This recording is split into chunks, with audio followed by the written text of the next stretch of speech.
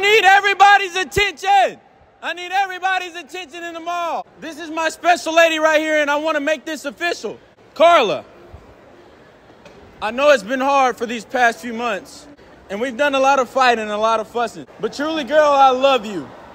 And yeah, you're on a date with him, but I'm not phased by that. I understand where we stand, okay?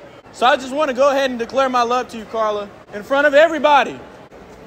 Carla Jean Simpson, will you marry me?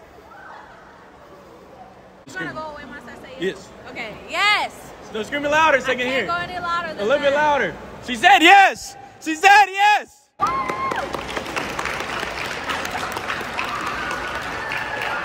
This nigga's a fool, bro.